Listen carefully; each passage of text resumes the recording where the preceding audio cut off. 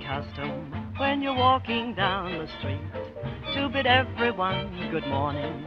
Don't you think that's kind of sweet? It's an old southern custom to politely lift your hat when you pass a pretty stranger. Is there anything wrong in that? If a lady meets a gentleman, as they did in days colonial, and the lady and the gentleman have intentions matrimonial, if they must be together every morning, noon, and night, there's a good old southern custom that makes everything alright.